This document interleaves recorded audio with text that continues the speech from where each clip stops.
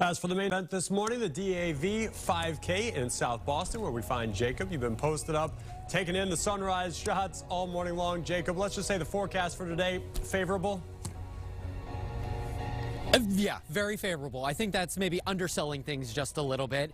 As soon as the sun rose, the temperature started to warm up, and so did the activity level. You know, I am on top of Fort Independence here on Castle Island. You hear the music start to play. The race route is going to take you from the center of the fort through the gates, around Pleasure Bay, and then back into the fort where you can hashtag finish in the fort. That's if you wanted to support any of them on social media, that's the hashtag that we are using. Now, uh, as far as the volunteer efforts go, it is a massive effort that is done by the volunteers across the Commonwealth, and this event is certainly an example of that. I spoke a little earlier to what some describe as the dynamic duo, the Pratt family. Here's what they had to say.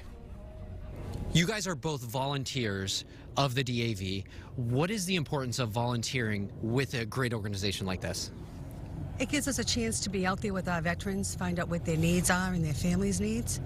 It, you walk away with such a great feeling after being with them. There's just no describing it. And I know you were talking to me about the importance of young people getting involved. What would you say to them? I would say step up. This is a fun organization to be with. We accept juniors.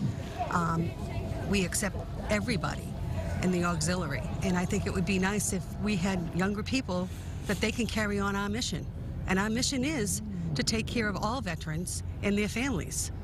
And I know, Stanley, that you guys are the dynamic duo. You guys are rock stars when it comes to helping out the DAV. What does seeing the help that you guys provide go to veterans, what does that mean to you?